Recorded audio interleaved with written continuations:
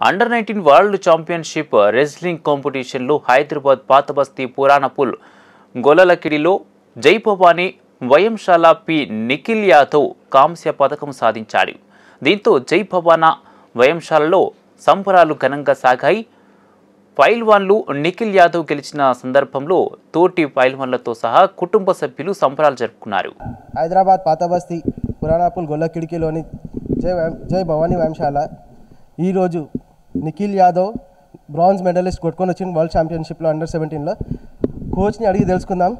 చెప్పండి సార్. నిఖిల్ యాదవ్ ఎన్నేళ్ళ నుంచి మీ వంశాలలో చేస్తున్నారు? మీకు ఎలా అనిపిస్తున్నది చాలా సంతోషం మాకు. మన రాష్ట్రానికి మనకు మన కంట్రీకి గెలిచినందుకు చాలా సంతోషంగా అనిపిస్తుంది మాకు.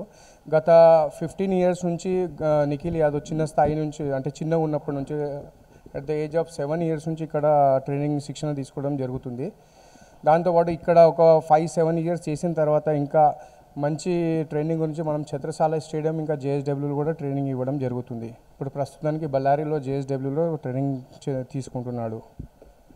నిఖిల్ యాదవ్.